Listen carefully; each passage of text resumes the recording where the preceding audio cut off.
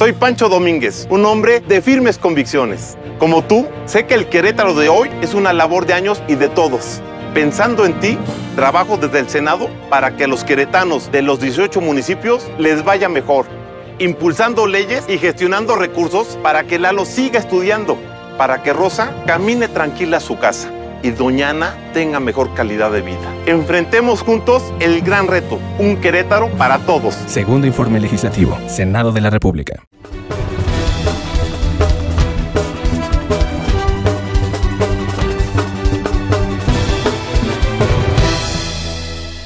El expresidente del Colegio de Ingenieros Civiles y expresidente de la Federación de Profesionistas de Querétaro, Sergio Camacho Novoa, indicó que los integrantes del Colegio de Ingenieros Civiles se encuentran en desacuerdo en sacar a la luz pública un documento donde no es viable el estudio del proyecto Tren Rápido México-Querétaro. Esto derivado a que aún no se cuenta con la certeza exacta de las afectaciones o beneficio que éste traerá al municipio.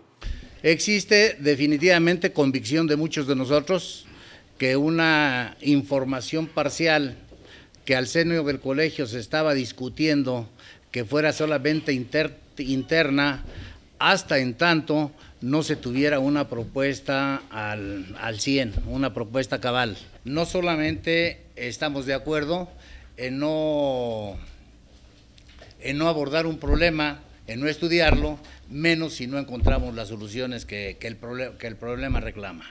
Asimismo, el ingeniero Federico Alcocer Delgado expresó que cualquier proyecto con dicha magnitud viene de la mano con problemas, mismos que se pueden solucionar de la manera más factible. El estudio que se presentó, por eso repite y dice el ingeniero Sergio Camacho, es un estudio parcial, es un estudio de hoy, qué pasa, cuántos coches eh, circulan, eh, cuál es la, problemática, la vialidad, eh, en fin, una serie de datos. Dentro de esos datos hoy, repito hoy, pues como están las condiciones hoy, sí, no funcionaría, pero las condiciones no se van a quedar o no se deben de quedar como hoy, debe de venir mucha obra complementaria. Paralelo a la conferencia, el coordinador de la Comisión de Vías Terrestres en el Colegio de Ingenieros Civiles puntualizó que los integrantes del mismo no fueron tomados en cuenta al momento de hacer la publicación del supuesto estudio. La gente que integramos la comisión, ¿quiénes integramos la comisión? Gente que tiene la capacidad técnica aprobada. La gente que, está, que hizo el estudio se manifestó de que algunos de ellos ni siquiera habían subido, se habían subido un tren. El coordinador de la comisión pidió al presidente de colegios de ingenieros, Irán Villeda, que si pretende hacer política, lo haga, pero que se deslinde del colegio. Las palabras de él fueron en su discurso, lo, lo han de recordar todos aquí, las palabras de él fueron, no tengo ningún compromiso con nadie, fue su discurso cuando pidió el voto. Está faltando a eso.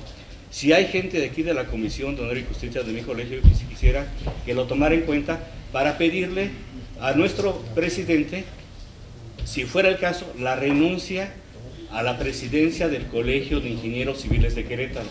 Por su parte, el presidente municipal de Querétaro, Roberto Loyola Vera, explicó que dicha nota publicada en el periódico Reforma debe de contemplarse con los estudios preliminares que hicieron los expertos. La nota incluso infiere, por ejemplo, pues que no hay vialidades próximas y, bueno, pues esto ustedes saben no es, no es la realidad.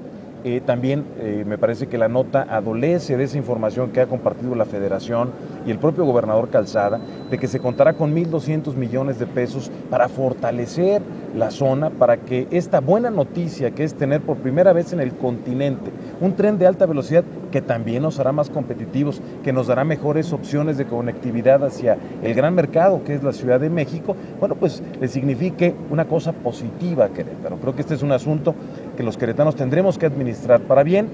Vecinos de la colonia Calesa se mostraron en desacuerdo con el proyecto, ya que esto perjudicará la tranquilidad de los colonos. No, todos los vecinos de aquí no estamos de acuerdo. ¿Por qué? Porque nos va a afectar mucho en la seguridad, en la ecología, en todo el tráfico que hay en Bernardo Quintana en horas pico y pues no, no, no estamos de acuerdo. O sea, ahorita ya estamos siendo afectados por el tráfico, por el tránsito y pues imagínate ya con la estación aquí vamos a tener muchísimos más vehículos y sobre todo porque nos afectan en las eh, cocheras, son coches que se estacionan y que no son de las viviendas. Yo honestamente no, no apruebo la decisión de que haya sido puesto al centro de la ciudad, aunque hay otros lugares donde se pudiera poner.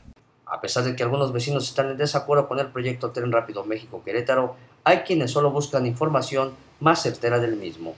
Yo creo que sí debería de, de haber una información más clara para que no haya rumores y dimes y diretes, porque cada quien sabe cosas distintas. Con información de Paulina Mares, ADN Informativo.